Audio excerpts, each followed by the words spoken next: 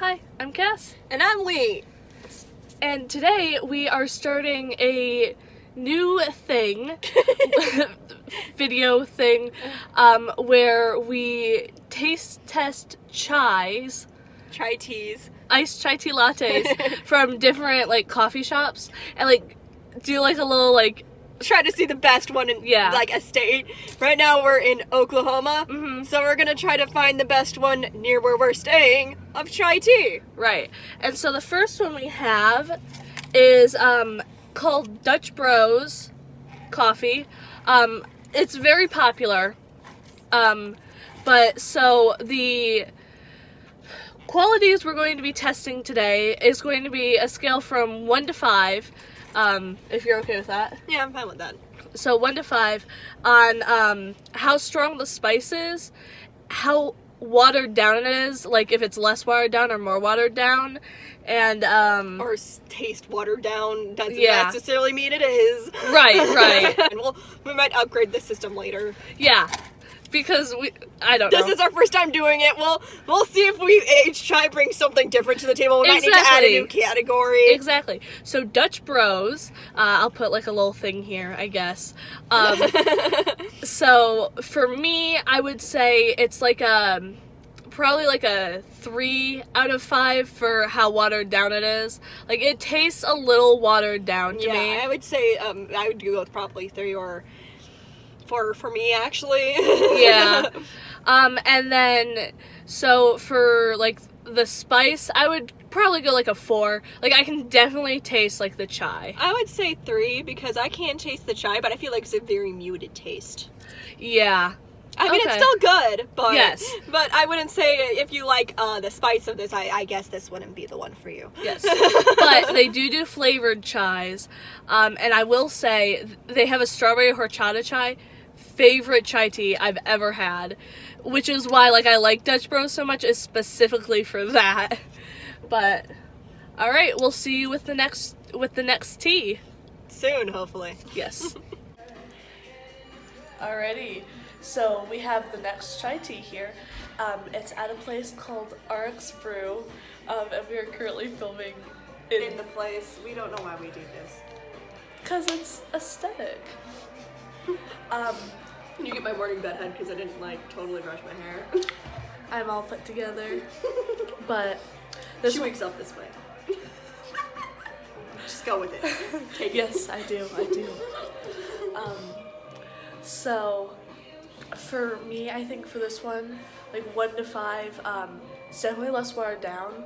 So like a four for strength, I guess. Um, but it's like a one out of three for spice, I think. I actually would put mine at a five for spice. I like the way they spiced it. I'm not sure it's strong spice, but I like the way they did it. And I actually would give it like two. It's pretty watered down in my opinion. Really? Yeah. It tastes less watered down to me than uh, Dutch Bros. Interesting. Taste is all subjective, of course, but. Yeah, that's true. but yeah, because like I want my spice to be more cinnamony. So All right, so that's it for the reading of this one since we couldn't think of anything new. exactly. See you next time. All right. So here we have our next chai tea. Uh, at this place called White Buffalo. If you can't tell by the buffalo singing yet. Right. um, this is a place that I don't believe uh, is very common up north, but I'm pretty sure it's fairly common down south, just like the Dutch Bros one.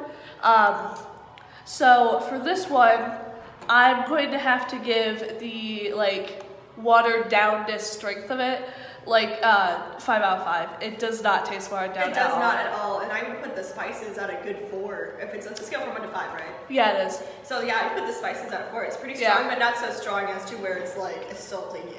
Right, I would have to do five and four for this, or five out of four for the spices as well, because like I can definitely really taste the cinnamon. It's good. Yeah, I it's like pretty it good. I think this is my favorite one so far. it is mine too as well. but like I said, Dutch Bros is strawberry horchata chai, and I really like it. okay, we'll see you with the next one. Hi, welcome back. We are um, at the last coffee shop that we can go to in Oklahoma. Um, I'm sure there's plenty of others, but These are just the ones we knew of. Yep, and so it's called the cup. Um, and so for me, and we had limited time to do this with each other. Just keep that in mind as well. Yeah, that's true. For me, I'd say it's a uh, a four on spice, but a five on watered down. It does not taste watered down at all, and I think they might use whole milk instead of like no fat milk, and that's why it doesn't taste wa- as watered down to me. They're definitely something. I think the spices are pretty. I don't know. It's a bit weird to me. It's almost like the spice is too strong or something. It's kind of gives me more of a nutty taste than I expected. I think it's more like nutmeg or allspice than cinnamon. yeah, and I'm used to them being more cinnamon. So I guess on the spice ra- spice one, I'll, I'll give it a four this time. And I agree Yeah. that this isn't probably watered down at all. So a five on that. But uh so the winners, I would say I for me, I'd say the cup is first just because it's not watered down at all and I do like the spice even though it's not as cinnamony. And then second place would be um RX because the spice is stronger at RX.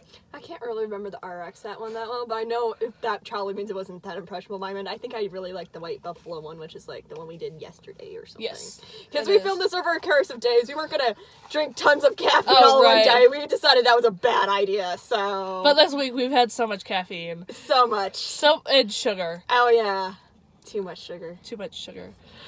but we'll see you next time, and hopefully we'll do another one of these in Michigan. That would be really cool. Especially since I know quite a few places in Michigan from college. Yes, maybe that one will be longer. Um, Probably I know at least five to six places off the top of my head. oh, oh wow, okay. Yeah. So uh, like and subscribe, and we'll see you next time. Bye.